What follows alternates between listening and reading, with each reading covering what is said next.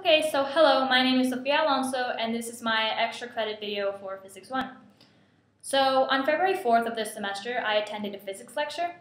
Um, at first, I was a bit skeptical, and I didn't think it would be at all of interest to me, but it actually ended up being pretty fascinating. So, the lecture was given by Dr. Stephen Morris from the University of Toronto, and the lecture was called Pattern Formation in Nature Why is the Universe Not Boring?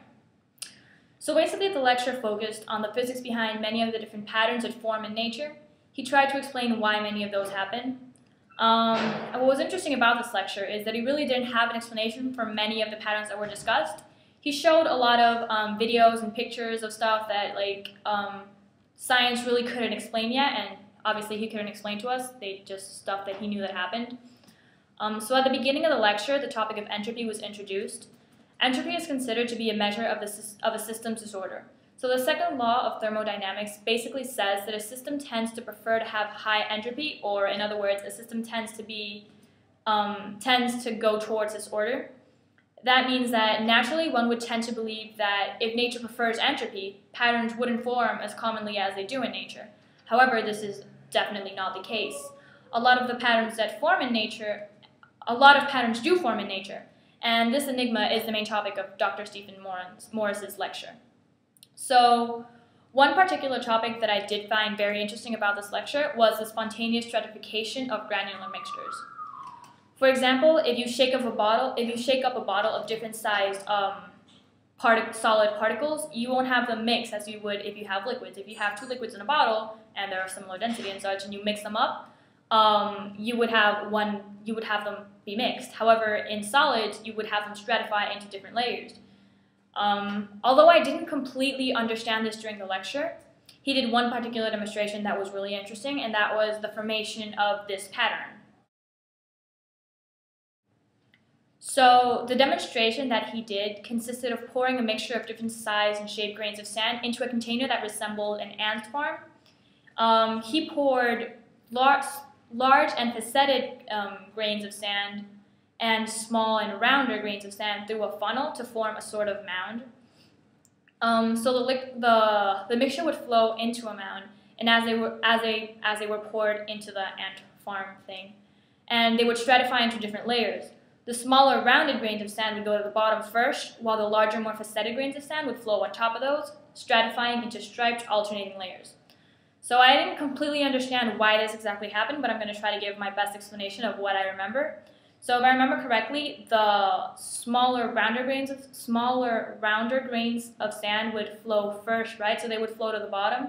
They would create a sort of barrier against the larger ones. So when the larger ones, um, the larger ones would kind of accumulate at the top, and then once there was too many of them, it would overflow and it would flow on top of the larger one, on top of the smaller ones that were already there. So then the smaller, rounder ones would just naturally flow on top of those, uh, forming a layer and then eventually they would accumulate as well, causing the same barrier to form, causing the larger grains of sand to, again, the same mechanism of like they would accumulate sort of and then they would overflow in an avalanche sort of thing.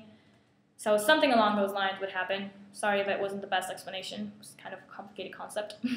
but I found this really interesting. The sort the pattern that would form, I found it really interesting, so I decided to look more into it and I found an article that discussed the different types um, of patterns that would form with this type of um, different size grains and stuff.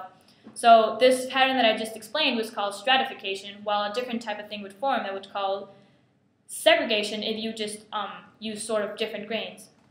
So if the smaller grains were more faceted, while the larger grains were less faceted or more rounded, a different type of pattern would form. In that case, you would get this pattern.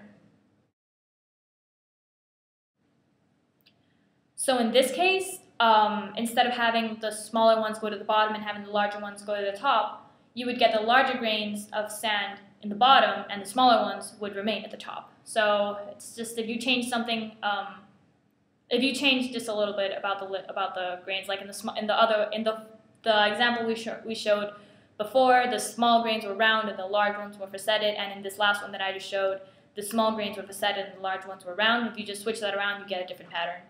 So I found that pretty interesting. So this was a demonstration that he did during the lecture that I found most interesting. And another thing that I also found kind of fascinating that he talked about was the stuff that he couldn't explain. He presented a great amount of patterns that formed in nature that science could still find no explanation for. One such example is that of Mima mounds. Um, these are Mima mounds. The Mima mounds are these little round mounds of sand that form the northwestern United States. It still isn't completely certain what forms them. There's a lot of different theories, it's, which is kind of interesting because the theories that they have are like extremely divergent. There's um, a broad amount of uh, variety of theories um, concerning these Mima mounds. So an example of one theory is that seismic activity would be to blame for these Mima mounds, and then a different one is that gophers are actually the ones that cause them. So there's a lot of different theories concerning that. Um, so one very interesting thing about this lecture was actually hearing all the stuff that there still is to be discovered about this topic of pattern formation. And it's also pretty fascinating to hear a PhD in physics talk about all the stuff in physics that he can't understand and that basically can't be understood by scientists yet.